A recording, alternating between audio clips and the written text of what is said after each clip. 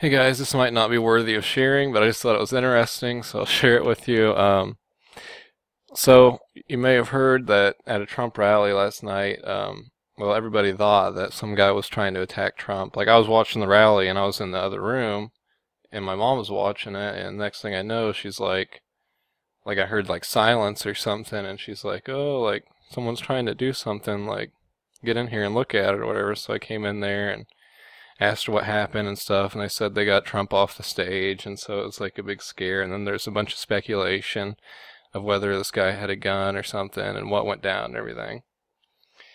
And I was thinking about maybe making like a video on it real quick, but I was like, you know, what would I say? Like, some guy possibly tried to attack Trump or something. And I just, and then I was like, I'm just not going to make a video on it. And then I was kind of wondering, like, who's going to cover this first? I'm subscribed to quite a bit of people.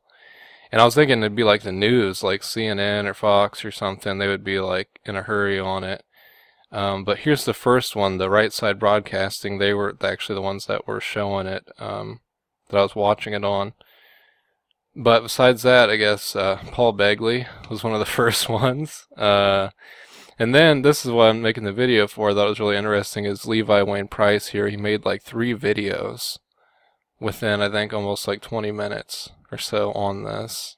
And I guess they're really just they're really short. That's only like a minute, two minutes, five minutes. But it's like, man, he's like trying to pump out those videos on this. Uh, and so, anyways, yeah, it says this was 39 minutes ago, and uh, it was way longer than this now. But this page, I haven't refreshed it, but that was 39 minutes ago, and then that would have been 18 minutes ago. So it seems like basically that was almost 40 minutes ago, that was almost 20. So basically 20 minutes later, this video came up, and then this was a minute ago. Um, so I don't know, maybe there was more space in between there, but still, uh, they were pretty, pretty close together.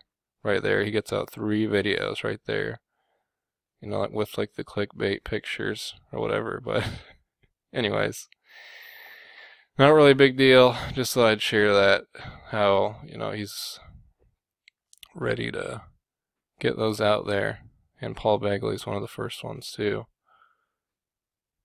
But I'm glad that Trump was safe and everything. Voting for him on Tuesday is the plan, so can't wait to get the selection and stuff over with. It's kind of what's been holding me back from really getting into making a lot of new videos or anything like that. So, and it's kind of exhausting, but it's also been um, a huge learning experience. It's been really entertaining. It's been a long ride to watch the debates all year and to follow the whole thing and to finally get this close. And it's just, it's going to be a big relief when it's over. But anyways, God bless.